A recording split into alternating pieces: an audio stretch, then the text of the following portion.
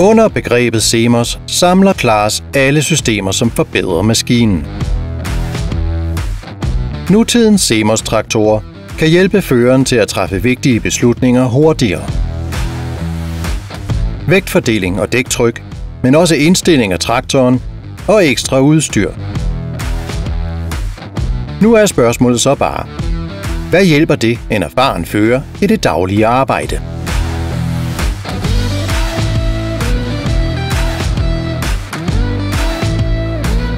Det ville vi gerne finde ud af sammen med det tyske landbrugsselskab Deutsche Landwirtschaftsgesellschaft, bedre kendt som DLG.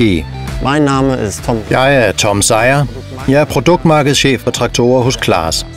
Og med det tyske landbrugsselskab DLG vil vi gerne vise alle, at Semos virkelig er en hjælp for føreren. Derfor har vi inviteret kunder fra hele Europa. Und die DLG Tyske DLG ledsager testen som uafhængigt kontrolinstitut. Vi har udstyret to Klaas-traktorer med vores måleudstyr til testen. Under kørslen dokumenteres jordens fugtighed. Vi måler arbejdsdybden og analyserer den producerede arbejdskvalitet fra jordbearbejdningsredskaberne. Vi sammenligner brændstofforbruget i liter per hektar i testen.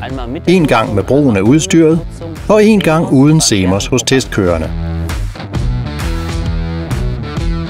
Mange har meldt sig på vores opfordring til SEMOS-duellen for at være med til at teste arbejdsbetingelserne. I alt har 10 deltagere fra fire europæiske lande meldt sig til sammenligningstesten med DLG. bin mir da noch relativ unschlüssig. Ich denke, Jeg er ikke helt sikker, men jeg tror, jeg er erfaren nok til at kunne slå. CMOS-System Schlangenhalter. Jeg er spændt på, hvordan sammenligningen med SEMOS ender. Jeg håber, jeg kan slå systemet. Jeg er sikker på, at jeg kan klare det kann es mir nicht vor. Jeg er ikke helt sikker, men jeg tror faktisk, at jeg er bedre end programmet. I starten af testen klargør hver deltager sin maskine og udstyr bestående af traktor og plov. Målet var at arbejde så effektivt som muligt. Kun arbejdsdybden var fastlagt på forhånd. Og det viste sig meget hurtigt. Vores testpersoner arbejder virkelig professionelt. Og de ville alle være bedre end Semos. Tyske DLG samlede dataerne på turene. Herunder brændstofforbrug, ydelse samt arbejdsbetingelser og kvalitet.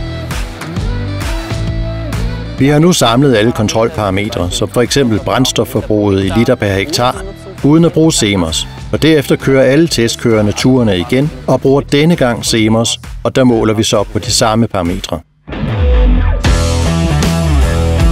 I testens anden del med SEMOS bliver lejen til alvor. Deltagerne kører med forindstillingerne samt systemets optimeringsdialog. Also man konnte einen relativ Man kunne faktisk mærke en tydelig forskel. Hvad angår motorens belastning i hvert fald. Der kunne man mærke, hvad der kan gøres med elektronik. Det var interessant, at sådanne grundlæggende ting som motorens belastning, vægtfordeling og dæktryk har så stor indflydelse på arbejdets kvalitet, og dermed også på maskinens brændstofforbrug. Det var tydeligt. Også selvom du ikke vidste det før, så ved du nu, hvorfor nogle ting skal ændres. Og systemet var utroligt intuitivt. Vi arbejdede faktisk rigtig godt sammen, må jeg sige. Also wir haben gut miteinander harmoniert, möchte ich so sagen. Ja. Ja, det, det er godt. Moi, par rapport au réglage, Og hvad angår de indstillinger, som jeg foretog i morges, så er jeg nu, efter at have brugt Semos, overbevist om, at Semos er mere effektiv end mine indstillinger. Det er en god produktnyhed for Klaas traktorer og for landbrugets fremtid. place euh, et pour le futur de l'agriculture. Deltagernes faglige viden og deres personlige forberedelser til testen fremhæves endnu en gang positivt af testingeniør Georg Schuchmann og Klaas produktmarkedschef Tom Sejer. Ja, von der DLG sind sehr zufrieden dem Ja, vi fra DLG er meget tilfredse med testens forløb. Vi fik hjælp fra meget erfarne landmænd, og vi er selv meget spændt på analysen af resultatet. sehr gespannt auf die Auswertung und auf das Ergebnis. Drei Tage Testablauf sind Tre dages testforløb er nu overstået.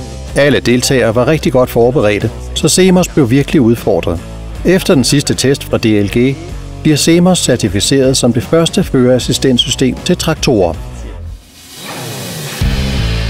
Tyske DLG gav Semos-certifikatet DLG-godkendt som det første førerassistentsystem til traktorer, der kan forbedre den samlede effektivitet. Fokus var på brændstofforbrug per flade og ydelse, og ud fra en så konstant arbejdskvalitet som muligt. Ingen af deltagerne sparede mere end Semos. Op til 16,8 procent lavere brændstofforbrug blev målt i testen. Og samtidig kunne næsten alle deltagere forøge deres ydelse. DLG kunne fastslå et potentiale op til 16,3 procent bedre ydelse. Deltagerne i testen er de bedste førere, vi har mødt. Men selv de bedste kan få glæde af et intelligent førerassistentsystem, hvor det leveres et optimalt resultat, selv på lange arbejdsdage. Semos fører er ikke til at slå.